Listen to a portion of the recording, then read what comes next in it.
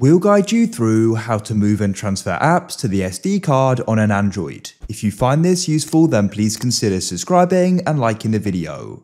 If your phone storage, also known as the internal storage is running low, we can go and move it to the SD card to free up space, or you may want to go and store it on there for another reason. But to go and get started, we need to go and swipe up and tap settings. In settings, we need to go and scroll down and go and find the option for apps and tap there. Now, what we can do is go and find an app we want to go and move. Let's say I want to do this converter here. I could go and tap on it. We need to go and scroll down and find the option for storage and tap there. Now at the top, it'll go and say storage used. We can see it says internal shared storage. We can press change and get this pop up and I can then go and select SD card. Now we'll go and get this pop up and we can start the export process. It will go and take a few moments so I can press move in the bottom right. Make sure you don't remove the SD card during the transfer. When it finishes, it'll bring you back to the apps page like so. That's it, you've successfully done it.